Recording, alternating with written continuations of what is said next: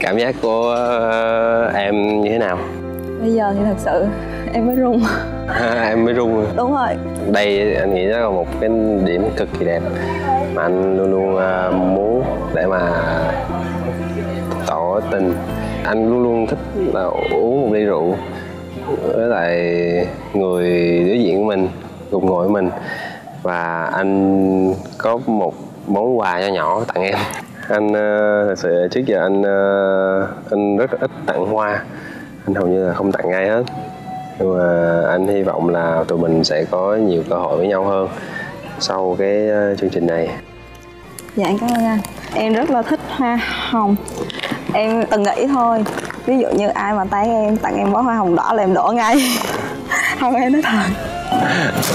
Anh cũng rất là vui rất là hạnh phúc vì anh cũng ờ, đã làm được cái điều mong muốn trong ngày hôm nay là kiếm được ờ, một người để mà anh tặng một đóa hoa không có cái gì mà nó hạnh phúc hơn trong ngày hôm nay. Em cũng cảm ơn anh rất là nhiều. Đây là cơ hội cho hai đứa mình có thể tìm hiểu nhau nhiều hơn. À, và em hy vọng là ngày hôm nay là ngày đáng nhớ của hai đứa. Dạ. Em ờ, có đồng ý cùng anh đi tiếp con đường này không đồng ý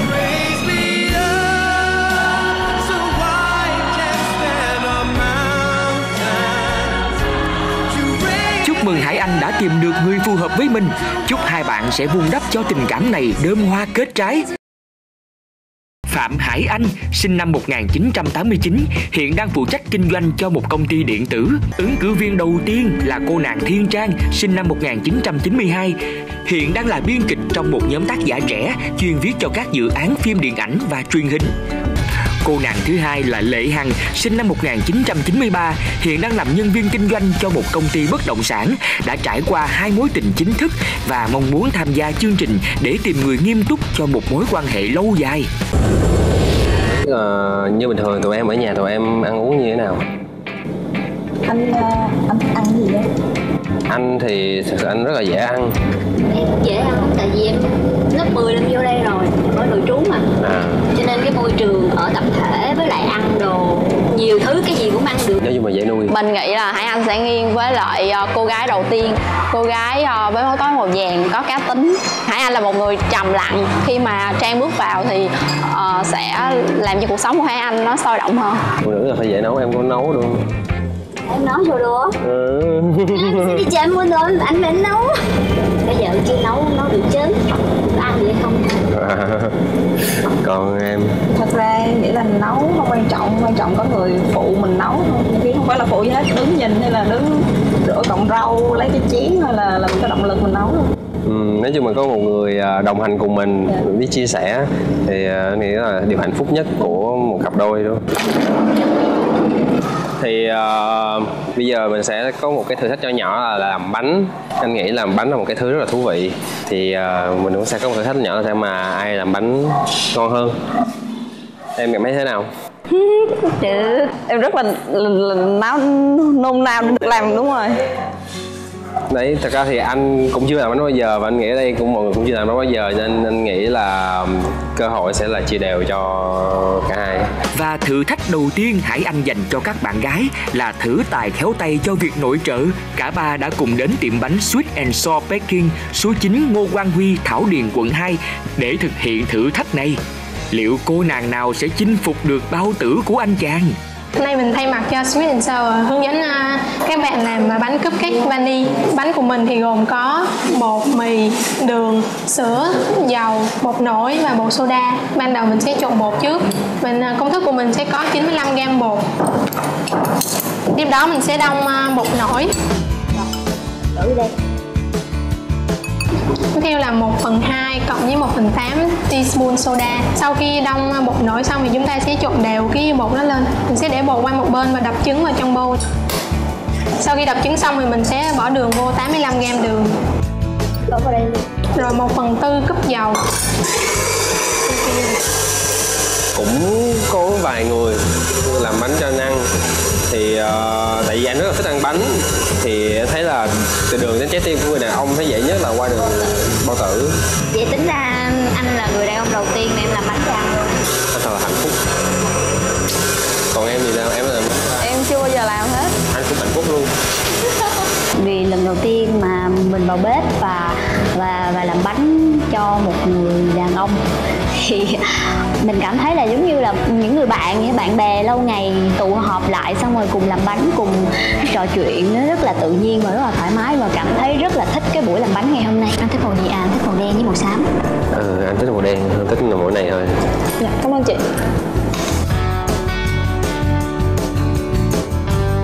Và một nhân vật đặc biệt đã xuất hiện đó là ai? thì nãy giờ ở bên trong kia là các bạn đã có làm bánh. Thì à, thời gian làm bánh không nhiều nhưng mà các bạn thấy là cũng là một cái trải nghiệm. Cũng là con thì thích ăn bánh. Ăn rất là ngọt. Đàn ông thì chắc hảo ngọt. Cho nên uh, cũng là một cái hay tại vì uh, trong tương lai thì nó cũng là một cái thử thách để mà cho tương lai cho khi dựng gia đình á, thì mình sẽ có con nít. Thì uh, sẵn tiện đây á thì con muốn mời cô đến ờ, đây để mà thử bánh. Tại vì ờ, cũng người trong nhà của mình phụ nữ thì sẽ hiểu được cách là ai là người phù hợp với lại thân con nhất. Thì ờ, cô cứ cho con ý kiến. Ok. Hôm nay được sự um, ủy quyền của mẹ tại vì mẹ đang bận công tác nên à, cô sẽ là người đại diện để à, xem Hải Anh ra mắt hai người bạn thế nào. Trong gia đình thật ra Hải Anh là một người à, con rất là ngoan tính cách thì cũng hơi hơi trầm tính hơi à, hơi cá tính đó. nên hầu như là bạn gái của Hải Anh là mình cũng chưa được giới thiệu.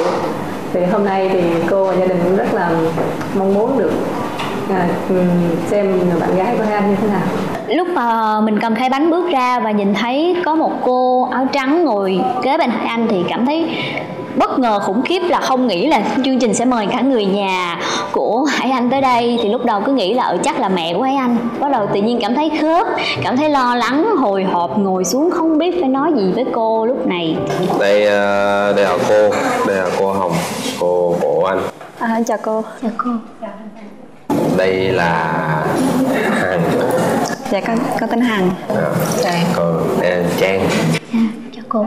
Dạ. Lúc mà vừa bước ra được ờ, anh Hải Anh giới thiệu là có cô của anh thì mình cũng rất là bất ngờ luôn. Cả hai người đi đi cùng con hành trình cái quãng đường cũng rất là xa. Đã trải qua rất là nhiều khó khăn nhọc nhằn để làm ra được cái bánh này. Thì ờ, mong cô thử và cho ý kiến nhiệt tình trước khi cô thử á, thì cho con nói chút xíu. Thì thật ra con không có khéo trong việc trang trí. Nhưng mà trong sáu cái này con chú tâm nhất là đến cái bánh này. Dạ là vì lúc nãy anh thấy anh có ra một cái yêu cầu nho nhỏ xíu là một cái bánh cho cả con trai và con gái. Ví dụ như mà nhà có cả con trai và con gái thì con mới làm cái này. Nó là một trái tim màu hồng và màu xanh là màu của trai và gái và trên đó có hai cái loại cớm nó ngược màu lại. Là nó sự hoa quyện của một gia đình. Đó là con muốn gửi cho anh, Hải Anh. Con thì ờ, con làm rất là nhiều màu. Tại vì anh Hải Anh có nói là cũng cái nãy cái đề bài là bốn đứa con gì đó. Bốn bốn bốn đứa con, còn hai là hai đứa lớn. Thì ờ, con mới nghĩ là bốn đứa con thì tất cả sẽ là tình yêu của ba mẹ dành cho bốn đứa. Thì đây là bốn cái bánh có trái tim. Dành cho bốn đứa con còn hai cái bánh này không hề có trái tim nhưng mà có sô cô la tức là món mà Hải Anh thích. Thì hai đứa sẽ cùng một sở thích là sô cô la để có thể ăn hai cái này. Cô ăn cái nào cũng được con tự tin cái nào cũng ngon. Trước khi cô ăn thì cô cũng cảm ơn hai hai cháu đã rất là nhiệt tình và rất là gọi là dồn hết cái tâm huyết của mình để mà tạo nên một cái bánh và cái giá trị của gia đình. Cốt lõi là gia đình là là chính ha thì cô thì dùng thử trước tiên là của hằng. Dạ.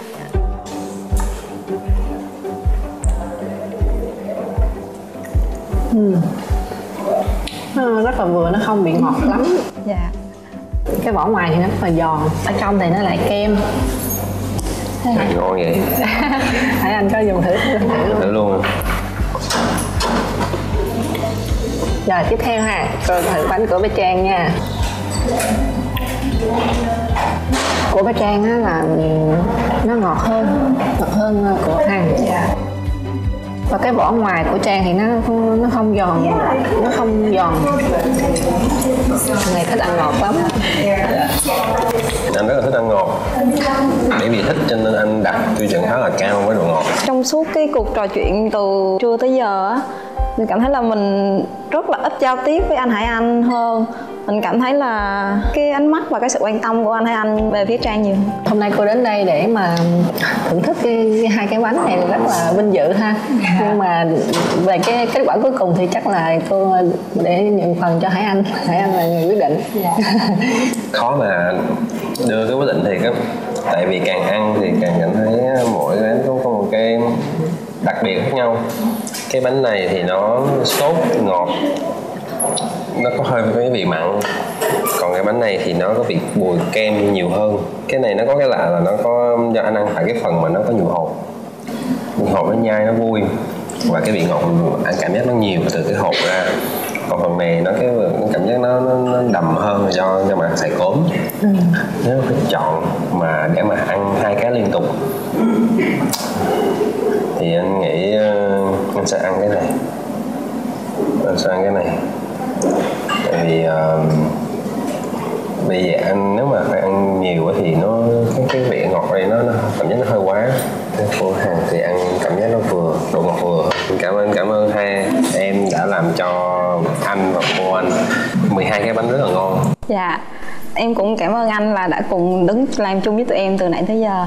À, cũng chịu khó ăn những cái bánh đầu tiên mà tụi em làm ra em cũng cảm ơn cô là có ở đây và cũng thử và cho ý kiến với tụi con. Cảm ơn cô ạ. Cảm ơn cô là đây là lần đầu tiên con làm bánh. Con cũng không biết cái độ ngọt như thế nào Tại con cứ nghĩ là làm cho nó đẹp Để đúng cái tiêu chuẩn là cho con nít ăn thôi cho nên nó hơi ngọt. Thì đây sẽ là một cái kinh nghiệm để mà nếu có làm bánh nữa thì sẽ làm tốt. Cảm ơn cô ngày hôm nay ta tới đây để chịu đựng và ăn ờ, cái độ ngọt ờ, của con. Và cảm ơn anh Hải Anh đã ờ, ở bên cạnh hỗ trợ em làm cái bài học đầu tiên này. Cảm ơn anh rất nhiều thật sự là trong lúc làm bánh thì mình cũng cảm thấy là hơi ờ, hơi mất tự tin một xíu. Vì ờ, mình có gặp vấn đề trong khâu trang trí nè, với lại mình cảm thấy là trang, mất chuyện với anh Hải Anh nhiều hơn. May mắn là cái cái bánh mình được anh Hải Anh chọn, mình mới lấy lại được cân cân bằng một chút xíu. Đây là lần đầu tiên mà mình làm bánh cho nên là cái cái việc mà bánh nó có cái vỏ không được giòn hay là nó quá ngọt thì mình vẫn chưa biết được là cái lý do nằm ở đâu. Nhưng mà khi mà cô nhận xét như vậy thì ăn bánh thì đúng là giống như cô đã nhận xét. Không có cảm thấy buồn gì hết tại vì đây là lần đầu tiên mình làm. Mình sẽ rút kinh nghiệm cho những lần sau. Mình phải vươn lên chứ không có gì phải buồn những cái đã qua cả. Cái lời nhận xét của cô á con làm mình cảm thấy rất rất là vui khi mà cô khen xong rồi cũng được anh Hải Anh khen á thì ờ, mình cảm thấy là có động lực hơn rất là nhiều.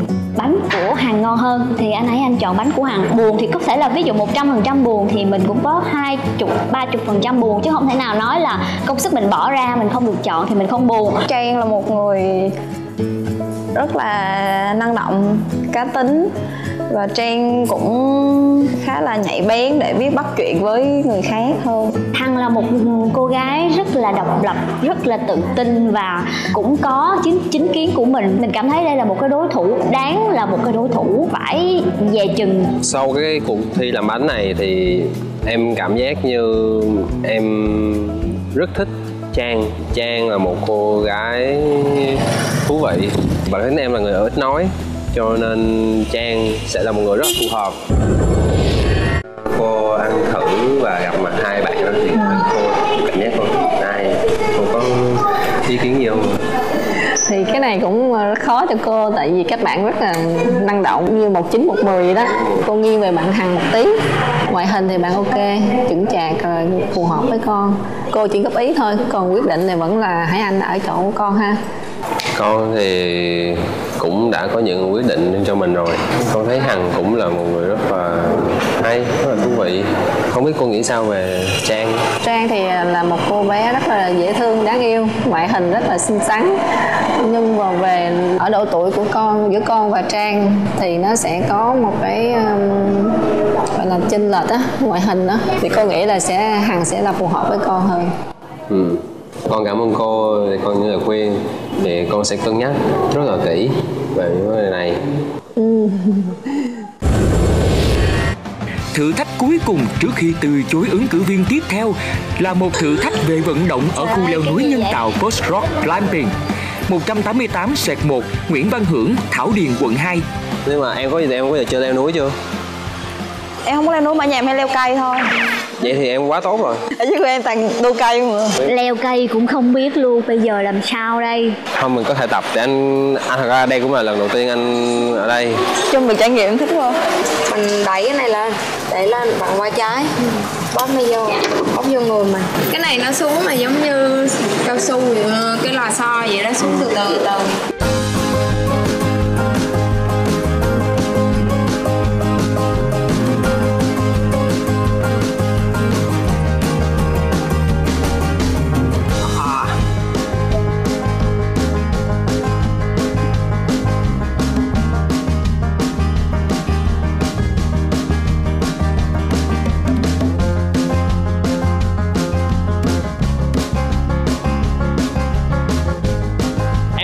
chân nhiều lên á thì nó đỡ mỏi tay hơn.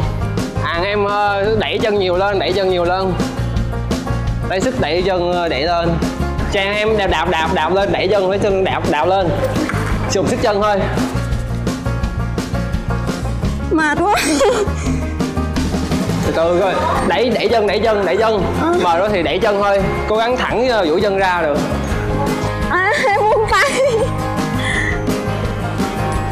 rồi từ từ thôi thẳng chân ra thẳng chân ra. Đẩy ra đẩy ra rồi. Từ từ từ từ từ rồi. À.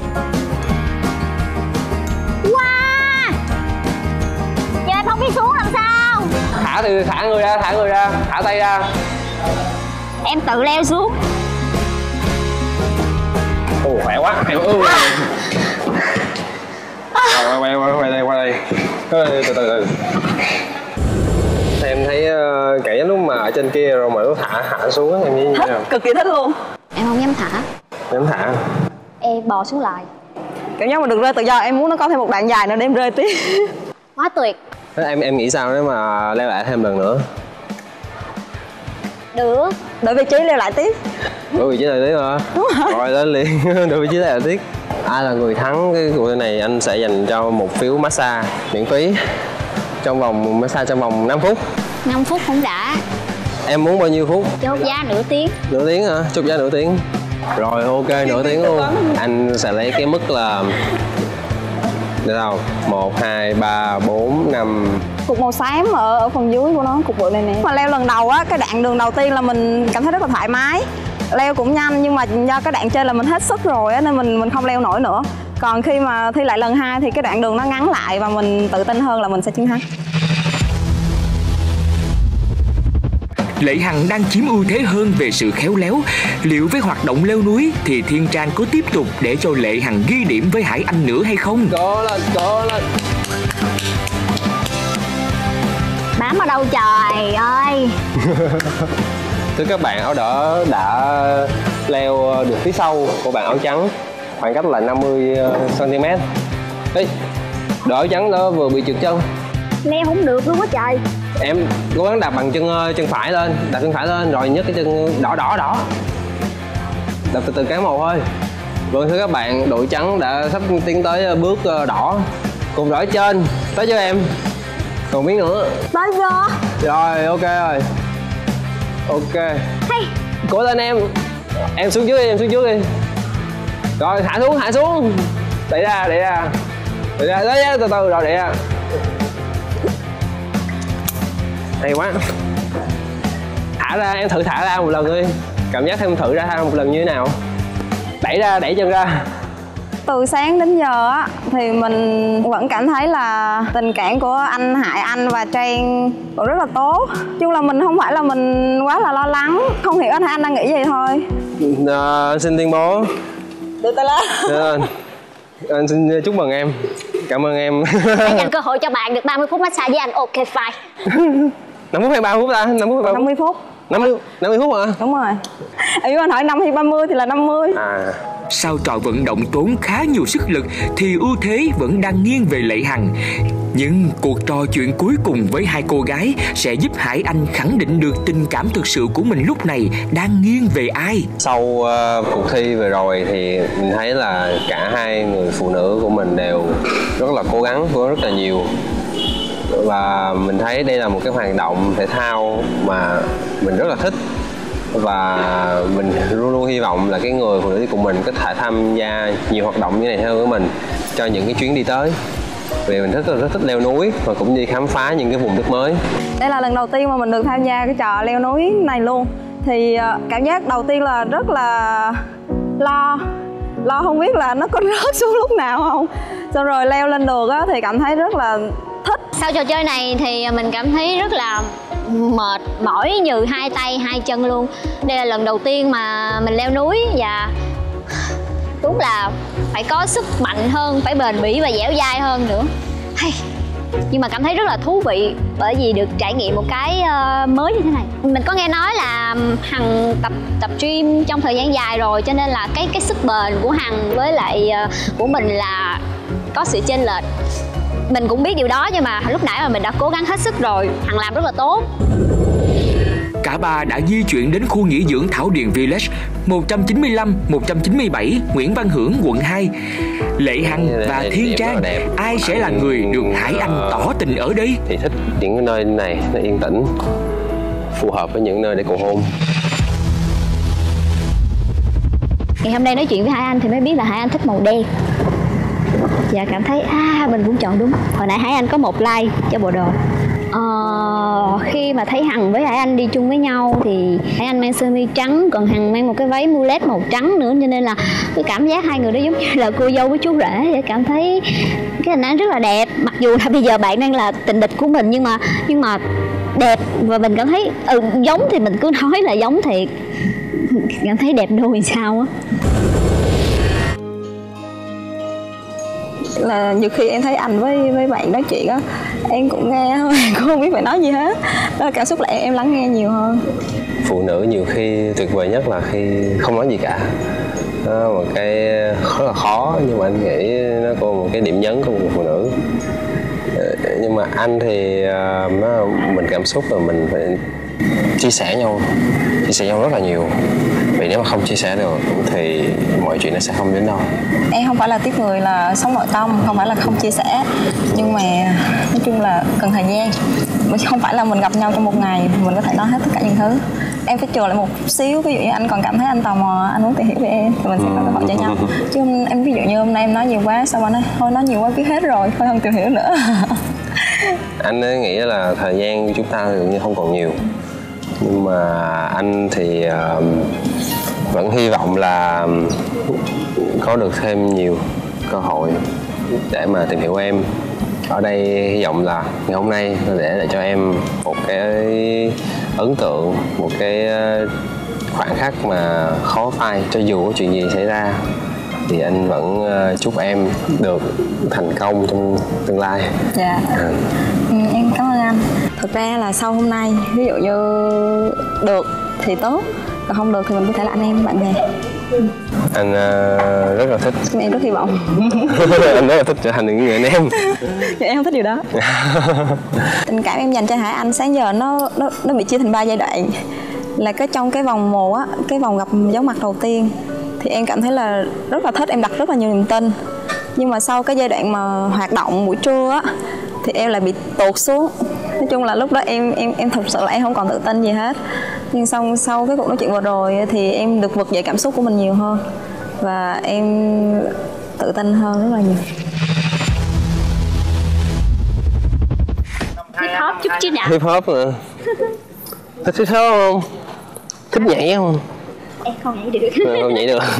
Về bạn Trang thì lúc đầu thì em khá là lo lo lắng cho em. Vì em thấy là bạn khá là hoạt bát, năng nổ. Bây giờ em lại có một cái cảm giác khác, là em nghĩ là từ những cái điều hoạt bát, năng nổ đó của bạn, thì có thể là anh Hải, Anh sẽ cảm thấy vui vẻ, giống như là mình thoải mái hơn trong anh em trong công việc chơi với nhau còn hiện tại thì em cảm thấy là em em không còn lo lắng về bạn Trang như lúc đầu nữa. Sau cả ngày hôm nay á thì em có nhận xét gì về anh không? Vẫn như cũ. Anh là một người rất là ấm áp có một nụ cười rất là dễ thương. Cảm ơn em. Em đã khá trông trên trong trên anh thấy mọi thứ đều rất là trong trên đúng không? Cuộc đời em này giống như cuộc đời vậy á, cái lúc bông bình bồng bình như này á lúc nào mình chìm nó cũng hay nên em có sẵn sàng chìm với anh không? Chắc Đợi chắn luôn. là em sẽ chìm. Chắc chắn em sẽ chìm luôn. Bởi vì em không biết bơi. Em không biết ở đâu anh biết bơi là được rồi, em có thể bám vào người anh mà. Anh sẽ cố gắng nổi. Còn ờ, những trường hợp khác thì ờ, vạn sự tùy duyên. Thì ờ, hôm nay thì anh cảm thấy là ờ, siêu siêu vui luôn. Thế nhưng mà cuộc đời anh chưa bao giờ vui như thế này. Anh nghĩ là mình đã cho bản thân mình rất là nhiều cơ hội. Như hồi nãy em có chia sẻ là tới đây để em biết là em có phù hợp để có người yêu hay không hay chỉ là bạn thân thôi. Nếu như anh không chọn em thì tất nhiên em phải về và suy nghĩ lại bản thân của mình như thế nào.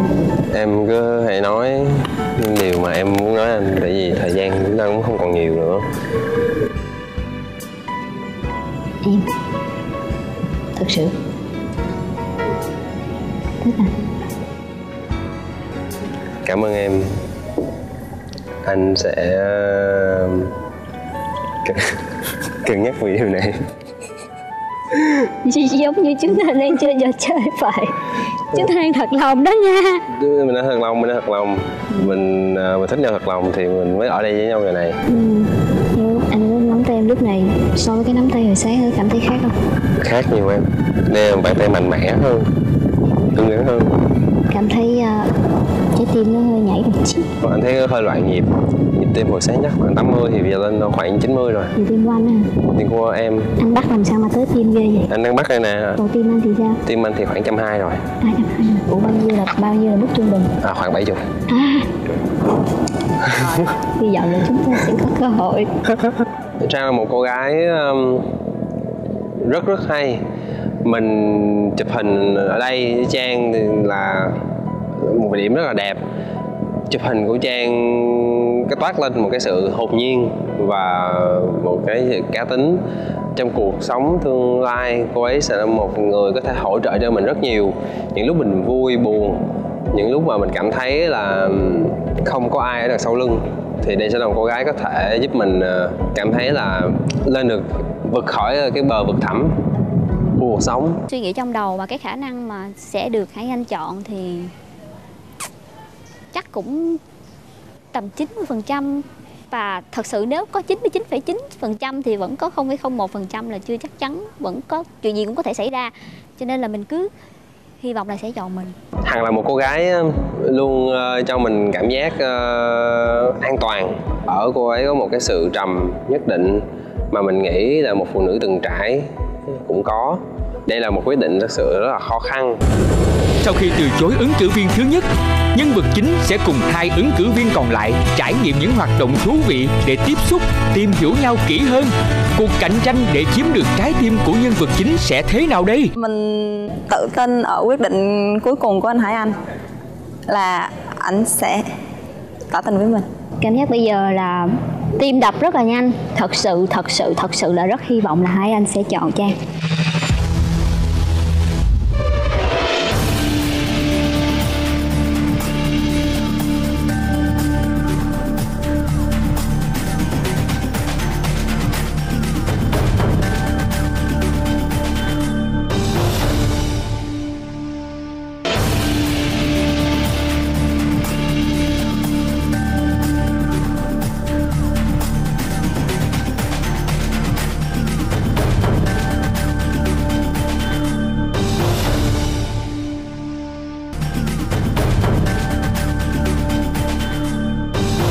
anh uh,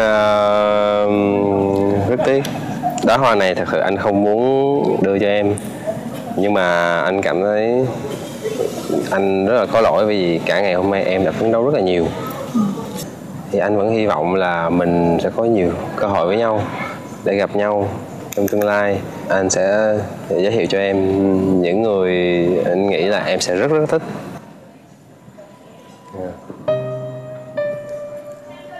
hồi nãy 99,9% em nhích lên xíu rồi. Nhưng mà như em đã chia sẻ từ đầu là 0,01 cũng có thể xảy ra. Và giống như là hồi nãy em đã ờ, rất là ấn tượng với ờ, hai bộ đồ của hai người và kiểu cô dâu và chú rể đó thì ờ, điều đó đã trở thành sự thật. Và em nghĩ là hai người hợp với nhau. Chúc mừng anh vì đã tìm được cô gái của mình. Chúc mừng hằng vì đã tìm được anh ai anh cảm ơn trang rất là nhiều. Ba. cảm ơn em mình sẽ đưa ra quyết định từ chối trang.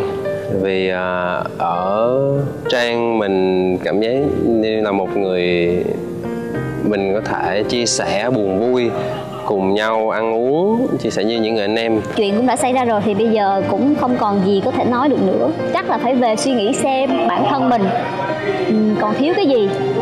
Và có thể đây không phải là người phù hợp với mình. Đời còn dài, còn rất là nhiều cơ hội. Chắc chắn cũng sẽ có một người phù hợp với mình đang ở đâu đó thôi.